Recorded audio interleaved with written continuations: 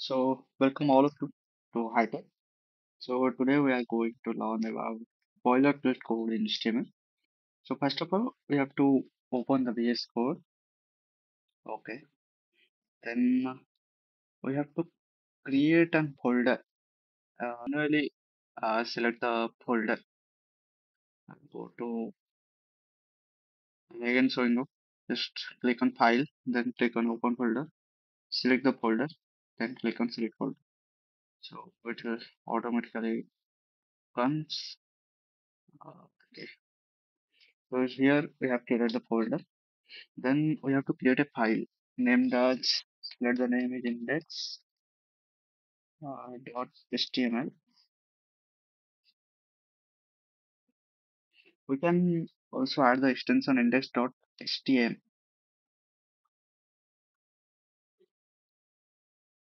Htm and both html are the dot extension for html file. So why we have named it the index dot html because uh, the name is the standard file name for the main html file of a website Oh, it's mainly active as the acting as a main file of a HTML. So uh, mainly I can say when you navigate to a website, the web server typically looks for a file named as index.html. So it is the root directory of the website and it serves uh, it as the default base uh, if it exists. So many web servers are configured to look for file named as index.html. So when a directory is requested in a web server, uh, the index.html file is called. So this makes it convenient also for the developers uh, because most of the developers are acquainted uh, named it as index.html. So that's why the name we are using also index.html. Okay. So then we have to just type exclamation and then enter the default code, code will be generated. So this default code default code is uh, named as boilerplate code of HTML.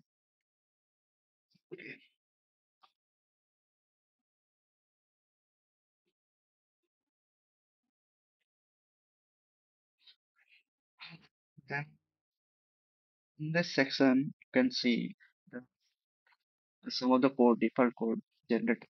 So first of all, what is boilerplate code? So basically, boilerplate code is a predefined template that provides the essential structure and initial setup for your HTML document. If you click on then go with open live server, then the document will be generated. So it is the default document that is generated by the boilerplate code. Then uh, HTML document. So we have to learn step by step of the boilerplate code.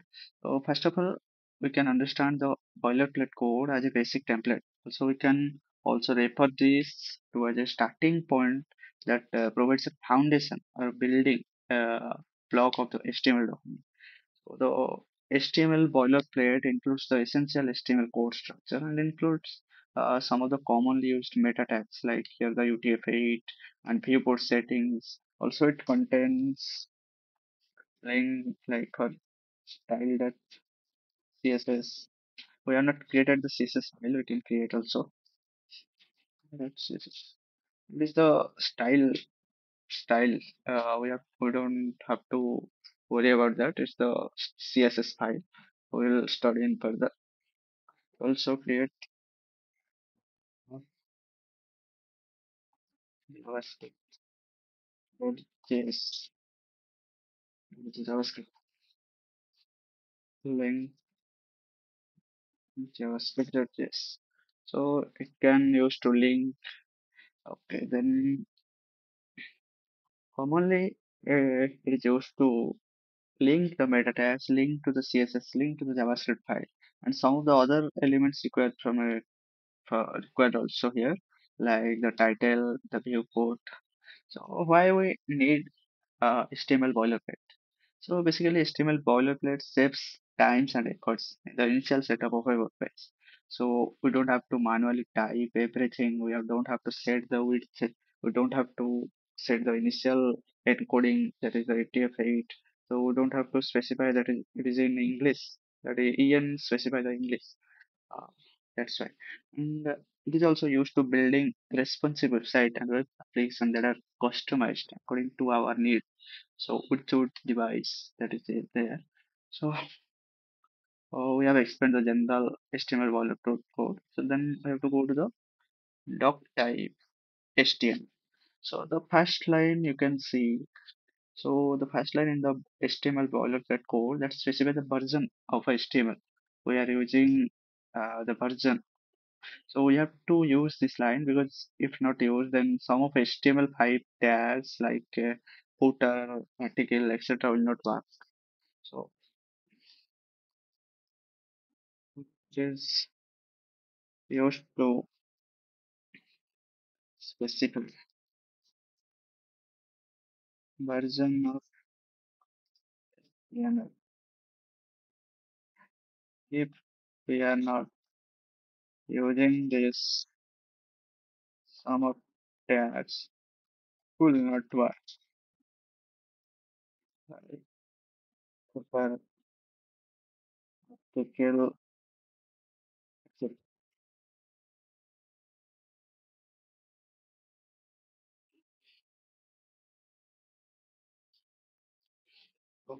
then that you can see the head HTML lang.exe. It's mainly specifying that is the code here written is in English language.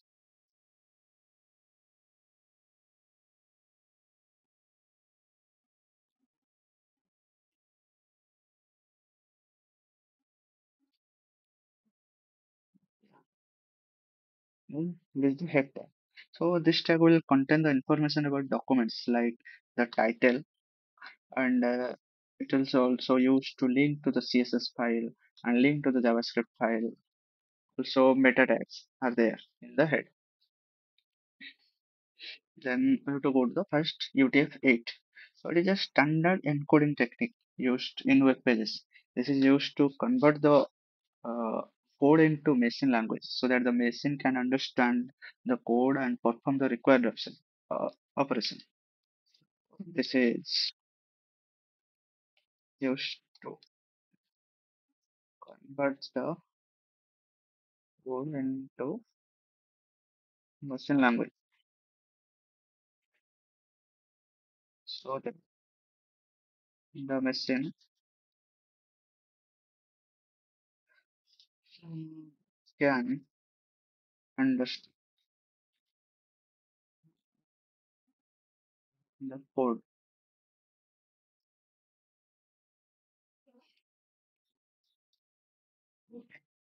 So after that,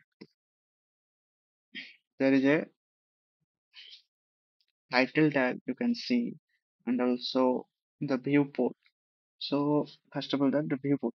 So as the name suggests, this will show the area of the browser which is used to display the content with the value that is width equal to device width uh, width and uh, it will set the width of the device and the initial scale that is 1 and, uh, you can see here 1.0 so it will set the zoom level which is in this case is 100% so, oh, then after that you can see the title tag. Title tag is uh, used to it will show the title which is visible on the top of the web page in the browser. You can see her writing writing. Live you can see here this is showing that Hi Tech so it is right. So that uh, the viewport tag is there then you can see it is the linking the css file a link tag is used and it is also used to link the javascript file after that the body tag So the body tag will contain all the content of the web page, whether the paragraph, text, heading, images, video, etc. The CSS and the JavaScript file. You can also add the CSS and JavaScript file in the HTML boilerplate by using the link and script tag respectively. So we can also use the uh, use the normal tags in inside the body tag. So whatever we have to print, we have to show in browser, we are writing here in the body tag. Suppose for lorem, see, yep, this one. Okay. So this all about the uh, boilerplate code of the HTML. So thank you.